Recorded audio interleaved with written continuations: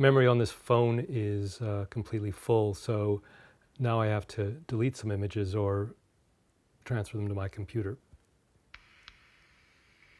Frankly, I can't be bothered to store more useless memories that I'll never look at again, so I have to make some choices of what to lose.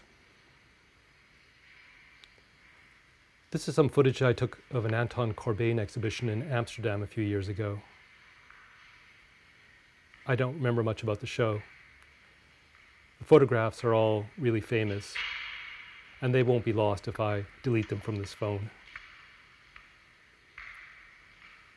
What will be lost is the particular sound my footsteps made as they walked through the gallery. What will also be lost is my fascination with this particular photograph.